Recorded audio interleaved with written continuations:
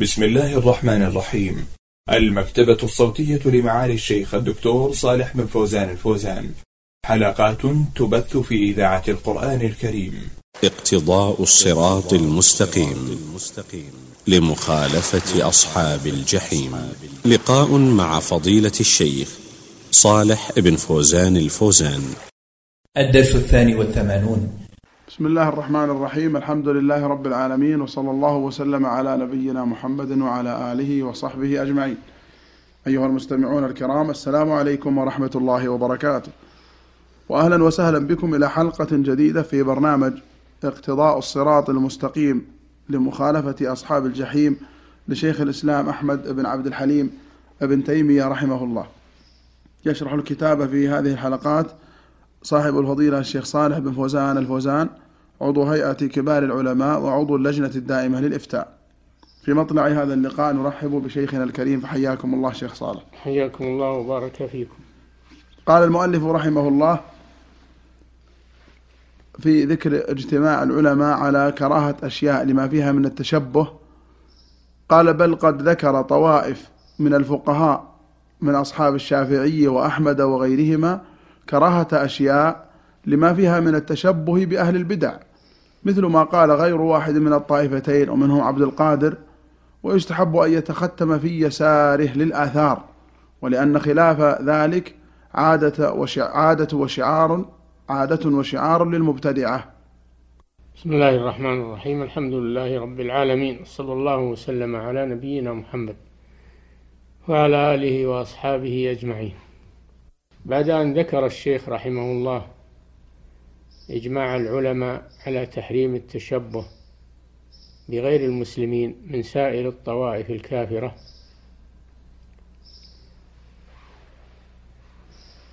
وذكر مستند ذلك من الكتاب والسنة.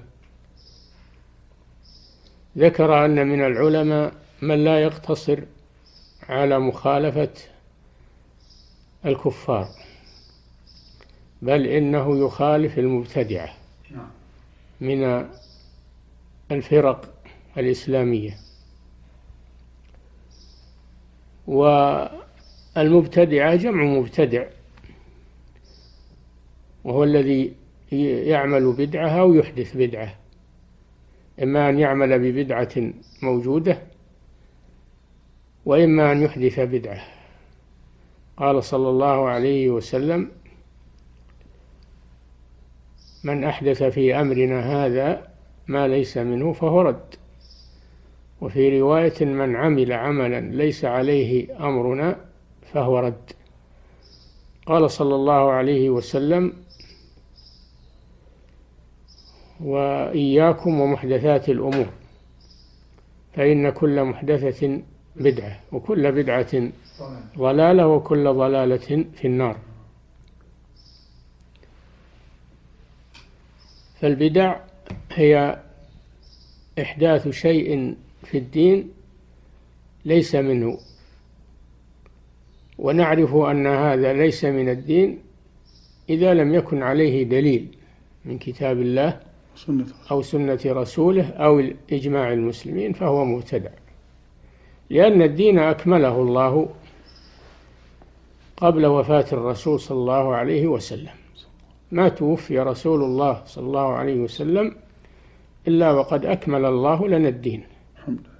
قال تعالى أنزل, أنزل الله على رسوله في ختام حياته وهو واقف بعرفة حجة الوداع التي لم يعش بعدها صلى الله عليه وسلم إلا شهرين وأياما ثم توفي صلى الله عليه وسلم. أنزل الله عليه في هذا الموقف وفي هذا الزمان قوله تعالى اليوم أكملت لكم دينكم وأتممت عليكم نعمتي ورضيت لكم الإسلام دينا. هذا إعلام من الله جل وعلا أن هذا الدين تكامل وأنه لا يقبل الزيادة. وأكد هذا قوله صلى الله عليه وسلم من أحدث في أمرنا هذا ما ليس منه فهو رد. وفي رواية من عمل عملا ليس عليه أمرنا فهو رد وتحذيره من البدع كما سبق. كل ذلك من أجل ألا يدخل في الدين ما ليس منه ويزاد فيه ما ليس منه. إلا أن طوائف من المنتسبين للإسلام تشوقهم البدع والمحدثات ولا يحرصون على السنن. وهذه آفة البدع أن صاحبها لا يحرص على على السنن بل ينفر من السنن ويحبذ البدع ويدعو إليها. هؤلاء المبتدعة واجب على المسلمين أن يقاوموهم. أن يقاوموهم وأن يحذروا منهم كما حذر منهم رسول الله صلى الله عليه وسلم. ناصحوهم يناصحونهم بالأول فإن قبلوا وإلا فإنهم يحذرون منهم. لئلا تسري بدعتهم على الناس فتخالط الدين وبالتالي تقضي على الدين. مع الاستمرار والتكاثرها تقضي على الدين وتتخذ البدع سننا والسنن بدعا. بدعا كما قال صلى الله عليه وسلم. من العلماء من هجر من من منع التشبه بهؤلاء. منع التشبه بهؤلاء زيادة على التشبه على منع التشبه بالكفار الذي ثبت بالنص. نعم. فهو كأنه يمنع التشبه بالمبتدعة لئلا يكون الإنسان منهم. وإن كانوا ليسوا كفارا وإن كان المبتدعة ليسوا كفارا في الجملة وإن كان من البدعة ما هو؟ كفر. نعم. لكن في الجملة ما داموا ينتسبون إلى الإسلام يشهدون أن لا إله إلا الله وأن محمد رسول الله ولا يحكم عليهم بالكفر إلا بعد تفاصيل معروفة. لكن حذ لكن من نهى بعض العلماء عن التشبه بهم لماذا؟ لئلا لئلا تسري بدعتهم على من تشبه بهم. على من تشبه بهم. وهذا كأنه مأخوذ من قوله صلى الله عليه وسلم من تشبه بقوم فهو منهم. فهو منهم. إذا من تشبه بالمبتدعة فهو منهم. منهم. من هذا المنطلق رأى بعض العلماء كما ذكر الشيخ رحمه الله منع التشبه بالمبتدعة وهذا ليس ببعيد. الرسول صلى الله عليه وسلم ما عمم قال من تشبه بقوم. نعم. وهذا يشمل كل المخالفين من بالكفر والابتداع يشملهم هذا. نعم. أحسن الله إليكم. قال رحمه الله مثل ما قال غير واحد من الطائفتين ويستحب أن يتختم في يساره للآثار ولأن خلاف ذلك عادة وشعار للمبتدعة. نعم التختم هذا إما أنه من المباحات للحاجة لأن الإنسان يحتاج إلى الخاتم ينقش عليه اسمه وإما أنه من السنة. وكان النبي صلى الله عليه وسلم يلبس الخاتم ويكتب عليه اسمه عليه الصلاة والسلام لأجل أن يختم به على كتب. الرسائل والكتب. أين يضعه؟ كانوا يضعونه في اليد اليسرى. كانوا يضعونه في اليد اليسرى. ولكن الأمر في هذا واسع وضعه في اليد اليمنى أو وضعه في اليسرى الأمر في هذا واسع. لكن إذا كان المبتدعة يلبسونه في يد يمنى أو يسرى فإن من العلماء من يرى مخالفتهم في ذلك بأن يضعه في اليد الذي لا يضعه المبتدعة فيها. فيها إظهارا لمخالفتهم. هذا هو الغرض من ذكر هذه المسألة. نعم. قال وحتى إن طوائف من أصحاب الشافعي استحبوا تسنيم القبور وإن كانت السنة عندهم تسطيحها قالوا لأن ذلك صار شعارا للمبتدعة. هذا كما سبق أن العلماء في القبور على قسمين. هم أجمعوا على أنه لا يجوز رفعها نعم.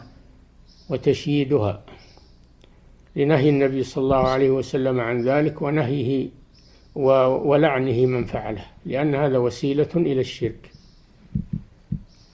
وإنما اختلف أهل السنة كيف يكون وضع أسطحة القبور إذا دفنت؟ فبعضهم يرى أنها تكون مسنمة لأجل أن أن ينزل ماء السيول عنها. وبعضهم وهم الشافعية يرون أن تكون مسطحة تكون مسطحة لا مسنمة هذا عند الشافعية. لكن متأخر الشافعية لما رأوا أن بعض أهل البدع يسطحون قبورهم أرادوا مخالفتهم فجعلوا يسنمونها وإن كان هذا خلاف مذهبهم لكن فعلوه من أجل مخالفة مخالفة المبتدعة. نعم. سلام الله إليكم قال رحمه الله وليس الغرض هنا تقرير أعيان هذه المسائل ولا الكلام على ما قيل فيها بنفي ولا إثبات وإنما الغرض بيان ما اتفق عليه العلماء من كراهة التشبه بغير أهل الإسلام. يقول رحمه الله ليس الغرض جمع كل ما ورد من الأقوال والآثار في منع التشبه لأن هذا يطول. نعم. وإنما الغرض ذكر نموذج يدل على إجماع العلماء على تحريم التشبه. فيدخل تحت الأصل الثالث من أصول منع التشبه وهو الإجماع. الإجماع. نعم. قال وقد يتردد العلماء في بعض هذه القاعدة لتعارض الأدلة فيها أو لعدم اعتقاد بعضهم اندراجه في هذه القاعدة. نعم هم العلماء مجمعون على تحريم التشبه بالكفار. نعم. في الجملة وإن كانوا قد يختلفون في بعض المسائل فهذا لا يضر الإجماع. إذا أجمعوا على الأصل فلا يضر إذا اختلفوا في بعض الفروع هل تدخل تحت هذا الأصل أو لا تدخل؟ فهو ليس اختلافا في الأصل وإنما هو اختلاف في أفراد بعض المسائل هل تدخل أو لا. فلا يقول أحد إنهم اختلفوا في في كذا وكذا هل هو تشبه أو غير تشبه. فهذا يدل على أن التشبه لا يحرم لأنهم اختلفوا فيه. نقول له لم يت... لا... هذا ليس اختلافا في الأصل. نعم. الأصل هم مجمعون على تحريم التشبه. بالكفار. ولا يقدح فيه أنهم اختلفوا في بعض المسائل. هل تدخل في التشبه أو لا؟ نعم. قال رحمه الله مثل ما نقله الأثرم قال سمعت أبا عبد الله يسأل عن لبس الحرير في الحرب فقال أرجو ألا يكون به بأس. نعم. قال وسمعت أبا عبد الله يسأل عن المنطقة والحلية فيها. فقال أما المنطقة فقد كرهها قوم يقولون من زي العجم وكانوا يحتجزون العمائم. وهذا إنما علق القول فيه لأن في المنطقة منفعة عارضت ما فيها من التشبه. نعم هذا الأثرم من كبار أصحاب الإمام أحمد وتلاميذه. يقول إن. إنه سأل الإمام أحمد عن لبس الحرير في الحرب. في الحرب يعني وقت المعركة. نعم. لأن المجاهد يلبسه لأجل إغاظة الكفار. يعني في هذا إغاظة للكفار. إذا رأوا المسلمين يلبسون الحرير هذا يدل على قوتهم و وأيضا الحرير يكون له فائدة في بعض الأحيان مثل أن يكون في الإنسان حكة شديدة حساسية فيلبسه من أجل ذلك.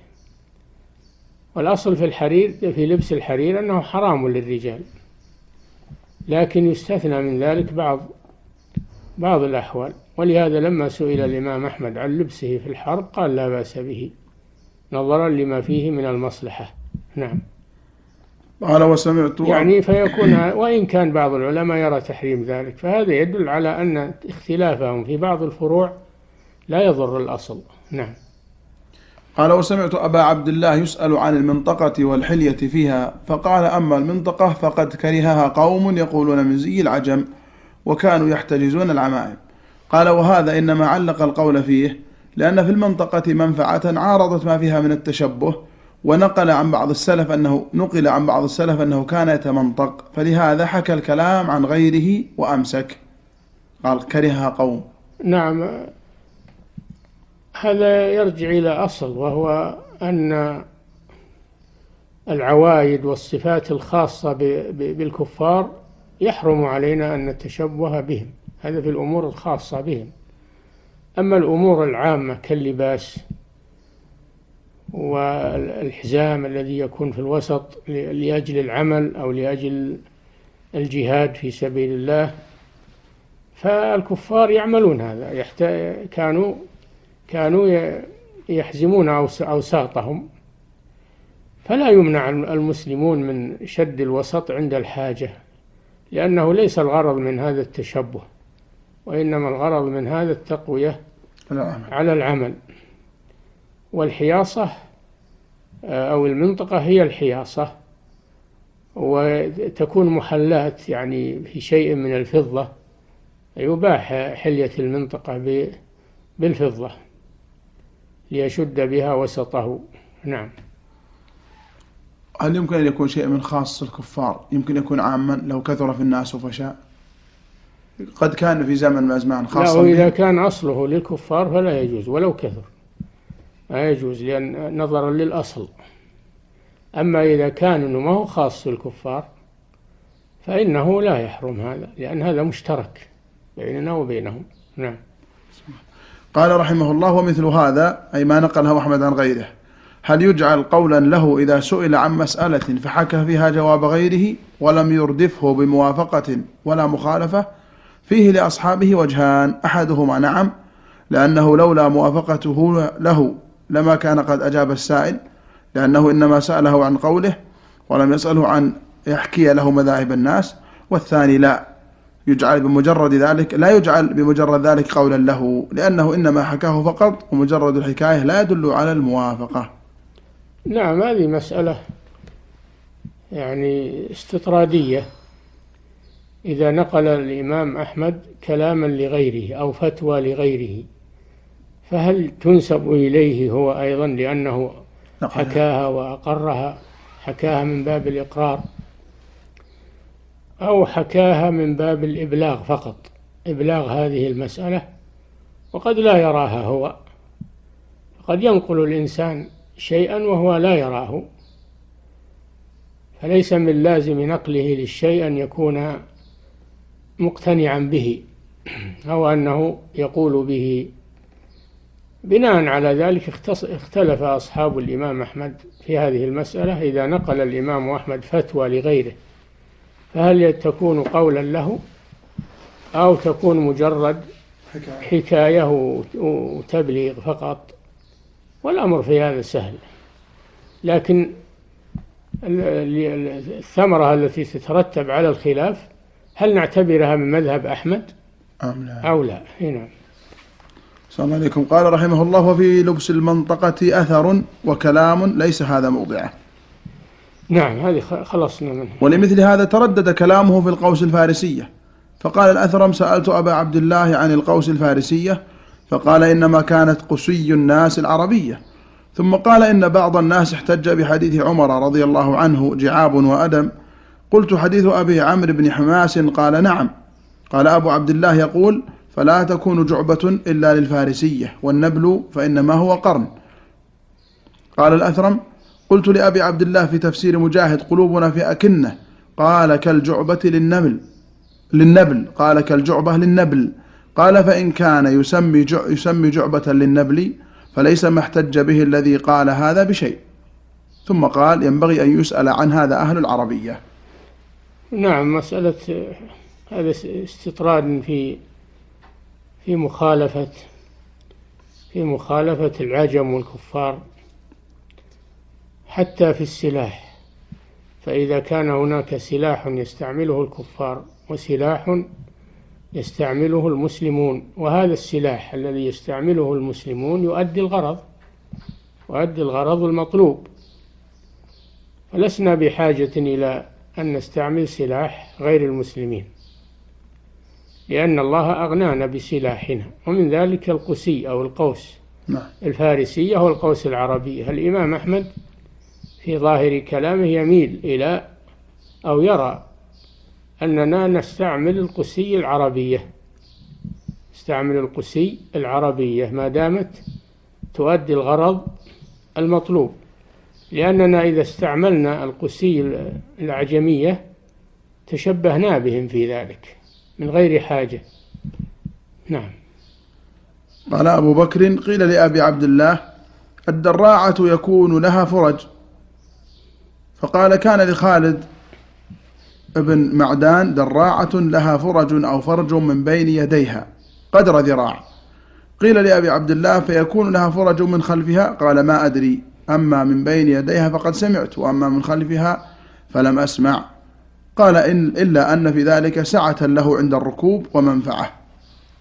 نعم الدراعة هي الجبة هي الجبة أو أو القباء الذي يلبسه الإنسان يستدفئ به ويكون من الصوف مثلا.